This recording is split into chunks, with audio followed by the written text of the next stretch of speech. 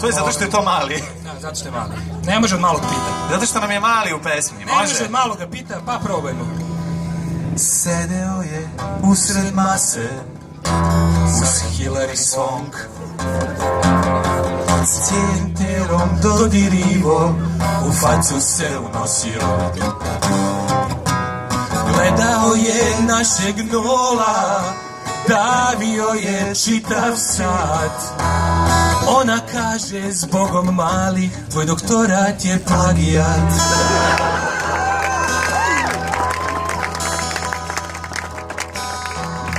A u noćas ako sluša Nek čuje Bog Tog sam danas skoro jebo Joj, samo joj Zauvijek ću da nosim Taj velik blam, kad sam na Roland Garrosu osto sam.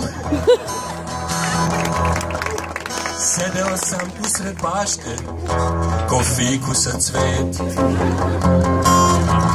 Radio šta mi se kaže, slao bagere.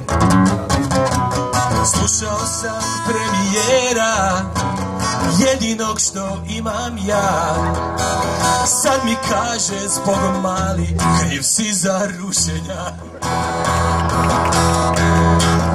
Al noćas, dobro slušaj, nek čuje on kako sad glasno kuca penis moj.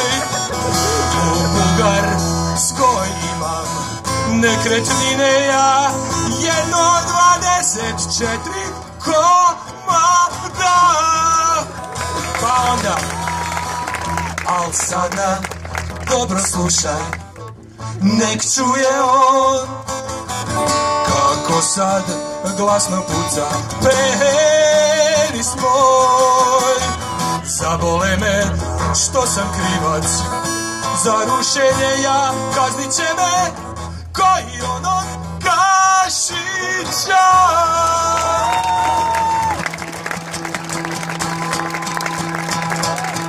Trzala mi ispalica, izvinjavam se Yeah!